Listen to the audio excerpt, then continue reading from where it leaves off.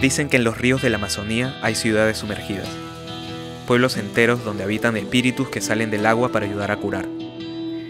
Alumnos de UTEC y del MIT emprendieron un viaje para hacer mediciones río adentro junto a un sabio Kukama. Acompáñanos a vivir esta experiencia y develar qué tanto de ciencia hay detrás de los mitos.